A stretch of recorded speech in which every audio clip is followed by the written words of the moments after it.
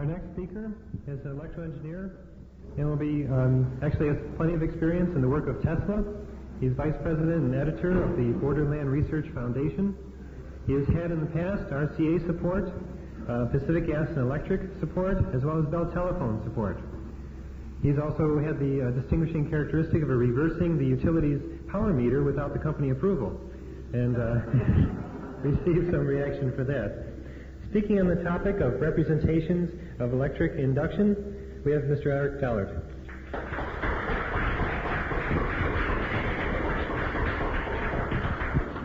Okay, there has been a slight change. Uh, representations of electric induction would have been so theoretical and nothing but blackboards full of Greek letters, which I didn't feel was really appropriate. I've changed it to the principles of wireless power, which I think will be easier for people to understand.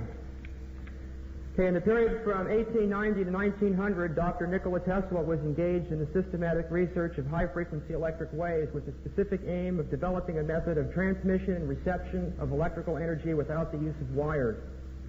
Inspired by Dr. Heinrich Hertz's experimental researches into the Maxwell theory of electromagnetic waves, Dr. Tesla developed various apparatus for the object of exploring the developments of Dr. Hertz. Tesla found to his dismay he couldn't prove that the oscillations that Hertz was using were akin to the original theory of electromagnetism as described by Maxwell and which Hertz attempted to prove. What Tesla discovered was the oscillations from his transformers were longitudinal electric waveforms, or what might be called electric rays of induction. This indicates why Tesla was extensively interested in research with X-rays, which were considered in that period of time to be a longitudinal form of radiation. The theory of electric waves wasn't of much concern to Marconi, however, and he developed a practical system which was put into commercial use by 1919. Constructed five high-frequency power plants around the world, which operated on 18 kilocycles per second at 200 kilowatts of drive to the antenna. This was done by motor generator sets known as the Alexanderson alternators and was fed to a multiple loaded antenna system, which I have shown in the figure here. Okay, what Marconi had is he had a giant mesh of copper suspended 300 feet in the air. It was roughly 1,000 feet long by 500 feet wide. He had a similar mesh of wires buried in the ground underneath the antenna to form a giant capacitor plate. And then at the particular installation I was associated with, there was a large bronze plate buried in the Pacific Ocean right next to where the San Andreas Fault comes in. This is at Bolinas, California. Okay, you had a 200 kilowatt alternator here. The motor generator set had an efficiency of about 20%, so it drew about a megawatt off the utility company's power line. It was fed with a 66,000 volt, 60 cycle power line. He through his resonant transformer, he developed about 100 kilovolts across this large capacitor plate. And in order to prevent the formation of ridiculous quantities of current that would just fuse the wires, he had to put these loading coils in here to tune with the capacitance to neutralize these currents out, what electrical engineering referred to as power factor correction. Well, in this case, it's the opposite of what you normally encounter. Now we're not using coils, we're using capacitors.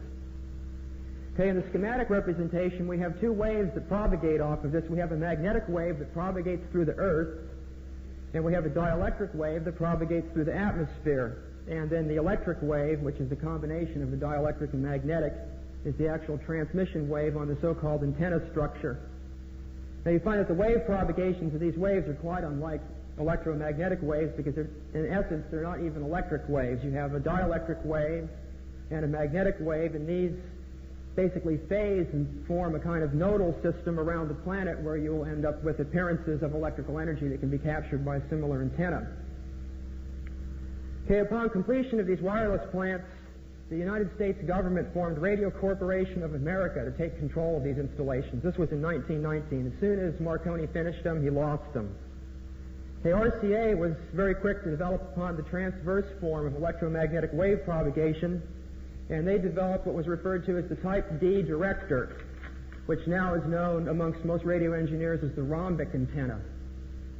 It's basically you have utility poles usually between 100 and, or stacked utility poles from 150 to 200 feet in height, holding a large diamond-shaped coil of wire in the air.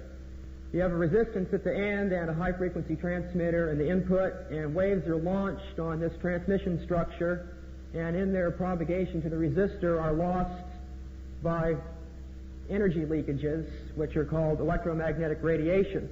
Okay, we have the inductance of the antenna here. The antenna area represented by you know conventional coils, and the capacitance in this area between the surfaces of the conductors is represented by capacitance.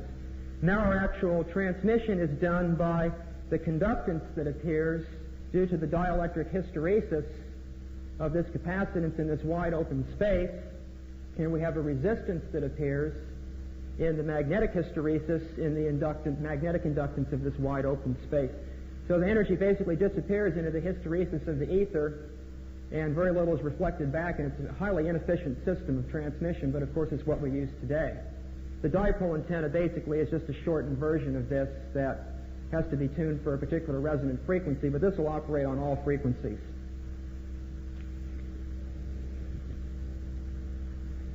Okay, the development of, of this antenna and the use of these Hertzian waves diverted much interest from Nikola Tesla's work and delayed the, um, let's see here, delayed the Tesla world system from coming into being because this was much simpler and practical, both the Marconi and RCA systems, rather than having large high voltage towers and electrostatic generators.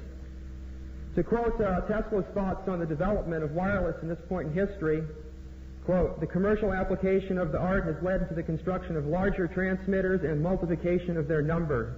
Greater distances had to be covered and it became imperative to employ receiving devices of ever greater sensitiveness. All these changes have cooperated in emphasizing the trouble and seriously impairing the reliability and value of these plants.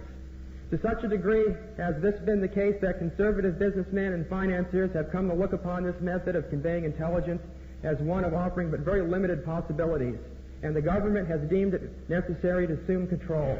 This unfortunate state of affairs, fatal to the enlistment of capital and healthful competitive development, could have been avoided had electricians not remained to this day under a delusive theory, speaking of the Hertzian theory, and had practical exploiters of this advance not permitted enterprise to outrun technical competence. Okay, Dr. Tesla himself remained totally unswayed by these developments and fully understood that the Hertzian waves were useless because of their scattering nature. And to quote again, nothing illustrates this better than the recent demonstrations of a number of experts with very short waves, which have created the impression that power will eventually be transmitted by such means. In reality, experiments of this kind are the very denial of the possibility of energy transmission. And this, of course, brings to mind the recent proposal to send photovoltaic generated power via mi- microwave beams and satellites down to the Earth.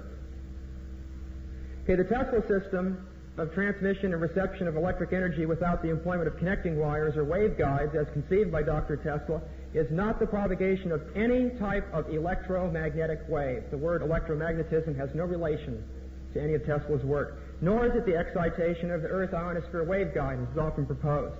The Tesla system employs resonant actions along lines or rays of electric induction, these lines standing between the transmitter and the receiver.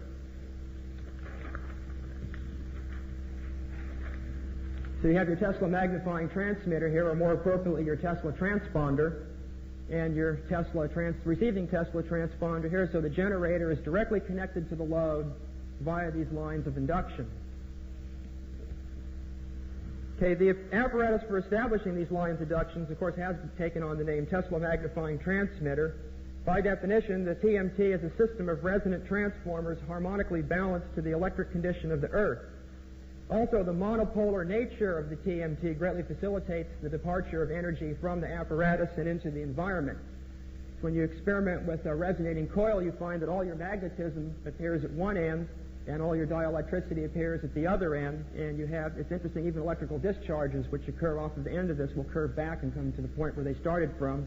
And you can hook a, um, a radio frequency watt meter or amp meter or whatever you want here, and there'll be actual indication of very heavy flows of energy, all of which are reflected back to the coil, except that utilized by the load.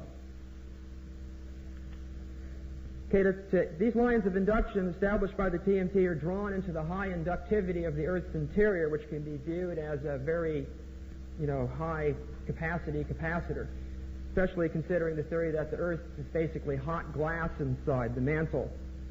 Okay, to illustrate exactly how Tesla felt this propagation would occur in the Earth, he has an experiment that he gives here. Okay, to quote, I here have a short, wide tube which is exhausted to a high degree, which back then was just about, you know, the exhaustion you would find in a regular street lamp. In other words, there's still gas in the bulb. Okay, and covered with a substantial coating of bronze. He plated bronze onto the surface of the bulb to give it a metal shell around the outside to allegedly shield it. The coating barely allowing the light to shine through. A metallic clasp with a hook for suspending this tube is fastened around the middle portion of the latter the clasp being in contact with the bronze coating. I now want to light the gas inside by suspending the tube on a connecting wire to a coil.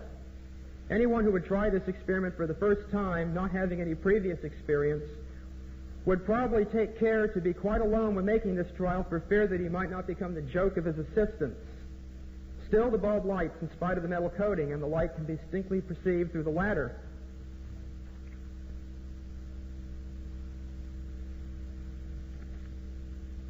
Okay, and he has another experiment, a long tube covered with aluminum.